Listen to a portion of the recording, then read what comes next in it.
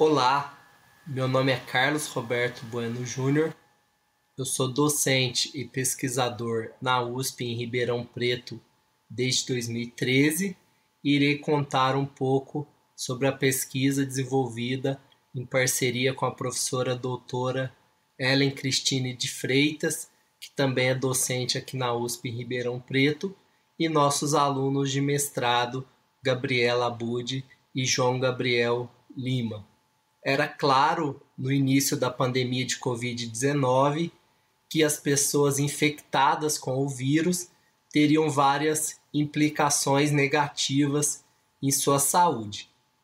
Nós pensamos diferente, queríamos entender se essa pandemia, se esse distanciamento social geraria repercussões na saúde das pessoas não contaminadas com o vírus. Então, nós fizemos uma série de avaliações de saúde, como força muscular, capacidade cardiorrespiratória e uma bateria de exames de sangue em fevereiro do ano passado. E depois de 16 semanas de distanciamento social, repetimos todas as avaliações. As principais mudanças que vimos foi, foi que apenas 16 semanas de distanciamento social já resultou em 83% na redução do nível de atividade física dessas mulheres.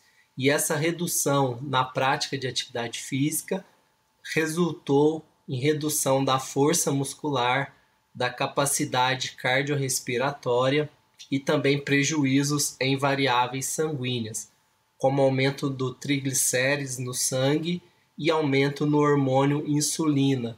Níveis aumentados de insulina aumentam a chance do desenvolvimento de diabetes. Então, a mensagem principal é que apenas 16 semanas de distanciamento social já resultou em mudanças significativas na saúde dessas mulheres. Se a gente avaliar novamente agora depois de um ano, a gente espera que essas mudanças negativas na saúde sejam ainda maiores. E por fim, quais são as duas implicações práticas desses nossos resultados. A primeira é que é fundamental todos nós praticarmos atividade física, mesmo durante a pandemia de Covid-19. Cresceram as plataformas virtuais, por exemplo, mas a grande dica é buscarmos estratégias que a gente possa fazer atividade física de forma mais prazerosa e confortável nesse momento que a gente está passando. E a outra implicação prática é relacionada aos gestores públicos.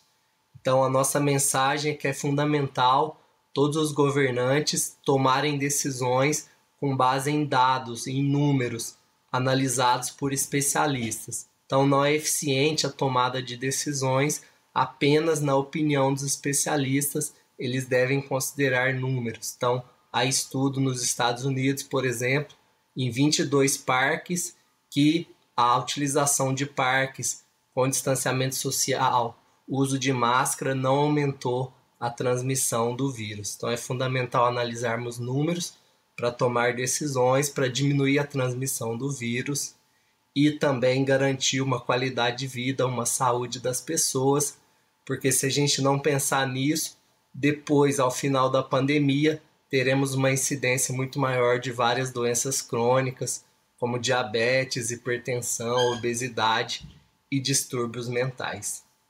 Essa foi um pouquinho da nossa pesquisa. Muito obrigado.